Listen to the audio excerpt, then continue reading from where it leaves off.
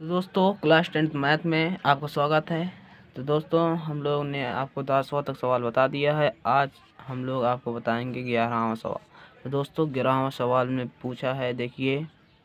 बताइए कि निम्नलिखित कथन सत्य है या असत्य है? कारण सहित अपने उत्तर की पुष्टि कीजिए, ठीक है? तो दोस्तों, इसमें पहला दिया है। टेन ए का मान सदैव एक से कम होता है। तो दोस्तों, ये हमारा हो जाएगा असत्य। क्योंकि टेन ए का मान हमारा एक से अधिक भी होता है, जैसे रूट थ्री का मान, ठीक है? तो दोस्तों, जब हमारा सम्मुख भुजा, संलग्न भुजा से अधिक होगा, तब तो हमारा टेन ए का मान भी अधिक हो सकता है। इसलिए ये गलत माना जाएगा, ठीक है? अब देखिए, दूसरा हमारा क्या है? कोण ए के किसी मान के लिए सेक ए बराबर बारह बटे पाँच। दोस्तों, हमारा मान होता क्या है? जी मतलब पहले कोण देखिएगा, हमारा कोण क्या है? तो दोस्तों, हम इसमें बोला है कॉस ए बराबर बारह बटे पाँच। तो दोस्तों, हमारा हो, नहीं सेक बराबर है ना?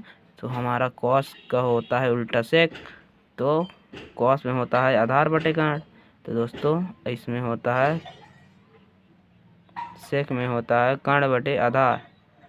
तो दोस्तों, हमारा मान दोस्तों, क्या है कि कर्ण का मान हमेशा बड़ा होता है तो इसमें कर्ण का मान बड़ा दिया है और ये आधार का मान छोटा दिया है, इसलिए ये वाला सत्य हो जाएगा। ठीक है दोस्तों?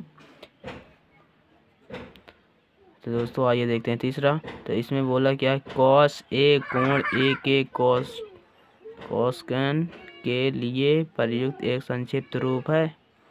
तो दोस्त तो दोस्तों, ये असत्य माना जाएगा, क्योंकि कॉस ए कॉस ए मतलब कॉस है कोणे कॉन्स्टेंट का एक प्रयुक्त संक्षिप्त रूप तो ही है, इसलिए ये असत्य है। मतलब दोस्तों, जो कॉस है, वो कॉस, कॉसेंट वही है, इसलिए इसका संक्षिप्त रूप तो असत्य माना जाएगा। आइए देखते हैं अब चौथा सवाल। तो दोस्तों, इसमें बोला है, कॉट ए, कॉट और ए का गुणनफल होता है तो दोस्तों, ये हमारा गलत माना जाएगा मतलब असत्य माना जाएगा, क्योंकि कॉट का मान होता है मतलब कॉट का गुणनफल कॉटेंजेंट होता है दोस्तों कॉट का गुणनफल कॉटेंजेंट इसलिए हमारा ये भी चौथा भी असत्य माना जाएगा, ठीक है? अब क्या है दोस्तों, इसमें देखिए, किसी भी कोण थीटा के लिए साइन थीटा बराबर चार बट तीन हो सकता है। तो दोस्तों, क्या है? ये असत्य है, क्योंकि इसमें होता है लंब बटे कर्ण होता है। तो दोस्तों, क्या है? लंब मान लीजिए चार है तो कर्ण हमारा छोटा पड़ा है। देखिए, ये चार है, ये तीन है तो कर्ण का मान छोटा दिया है, इसलिए असत्य माना जाएगा। तो दोस्तों, इसमें यही था और कुछ नहीं। तो वीडियो पूरा देखने के लिए धन्यवाद दोस्तों, आप मिलेंगे अगले सवाल में।